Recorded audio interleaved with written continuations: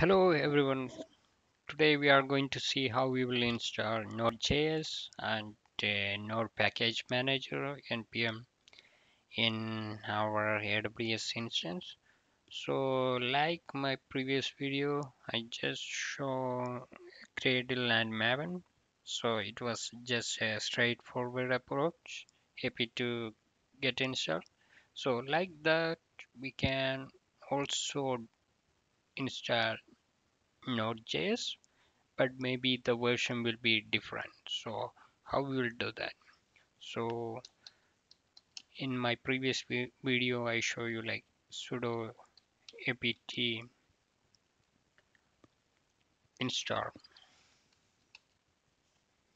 For Gradle and Maven we use Gradle and Maven. So in this case we are using Node.js so it will install Node.js so it will take almost 24.7 MB additional space. Okay right now node is and if you type like node version you can see the version. Version 8.10 and npm you need to check that version also. So in npm it's not in installed right now but you need to install npm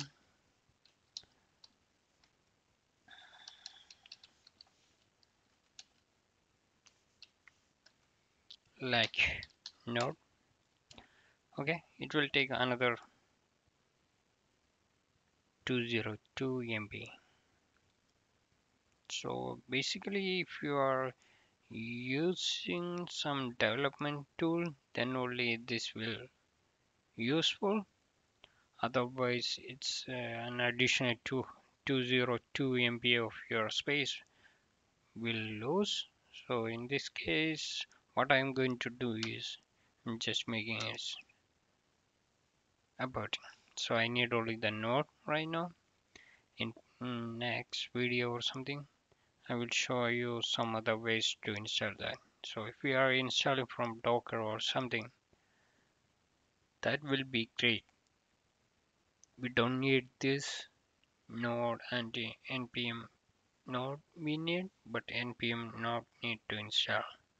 So for we are planning to use docker for our application. So in that case it's not useful to spend your 202 MB of additional space so that's all for node and npm so uh, before we are wrapping up this session I need to show you what is the node version currently available.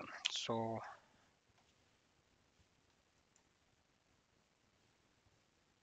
so this is a version of 12 14.0 npm 6.3 so in my case I install version of 8 so it's a pretty old version. So basically most of the people will know okay with this approach even if this example they are installing 10 so it's better to you to install by downloading that particular version. Otherwise you will get only the old version that will not benefit that much. So this is the case for Gradle Maven every, everything and already have a package in our own operating system. The version will be old. So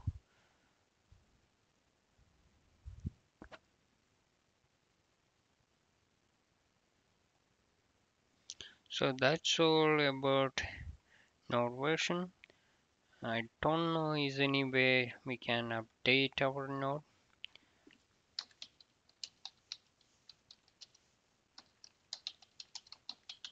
Probably if I install yeah if I am ins installing node npm I can update from that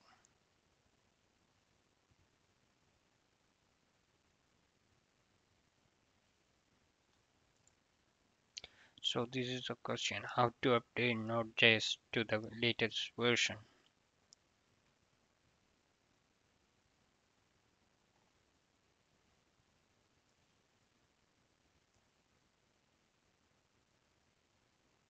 So here they are Node version manager.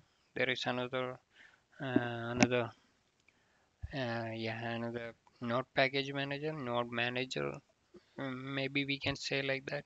So we are using that one to update our own version.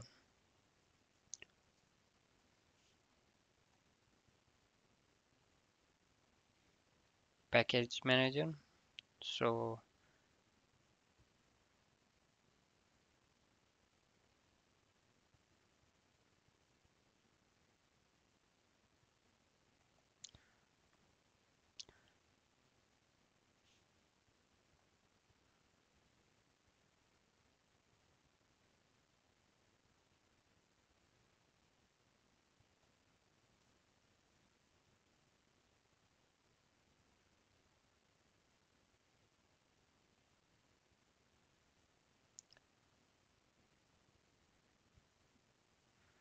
okay, so what I am going to do is anyway I'm going to install my npm even if it is taking that much space I'm going with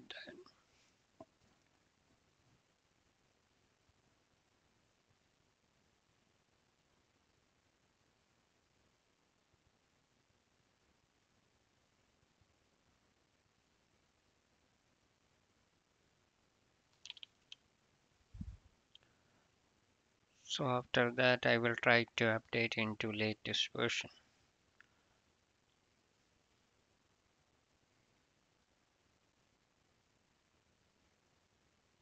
It's almost done 99% so what I'm going to do here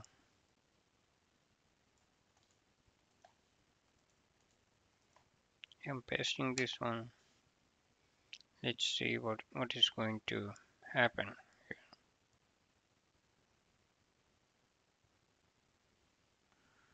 then I need to run this one.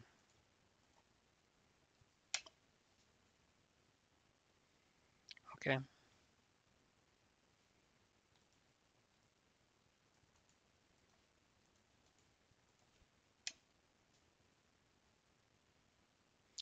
Okay.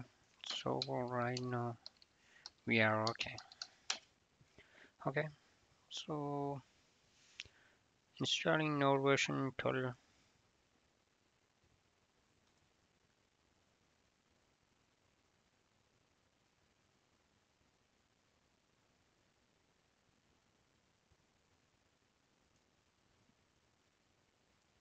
okay so basically it's installed in another location. So I have two versions. If you are going here in this directory you can see both version will be available so here.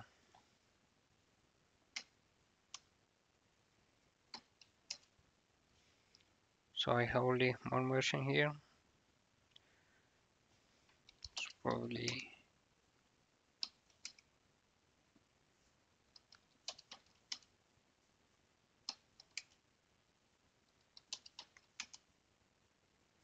okay so basically right now I have 12 but I need to set my path.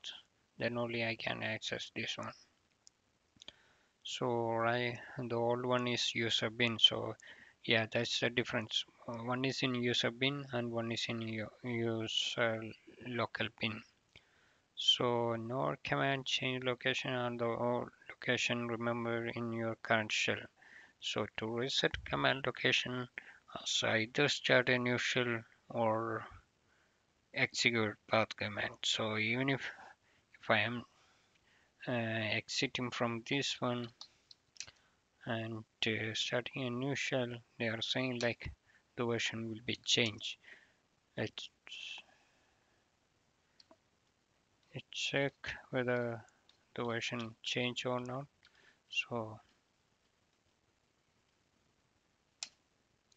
okay so here we go the version change.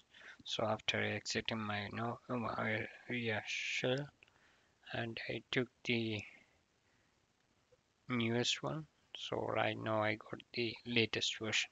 So that's where we can install and update node.js with the npm so it's a very straightforward approach.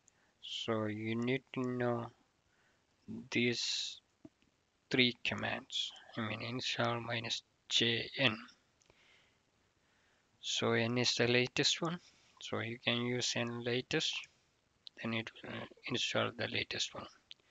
So node package manager is very useful for this scenario. That's all for today. Tomorrow probably I will come with something else. Thank you for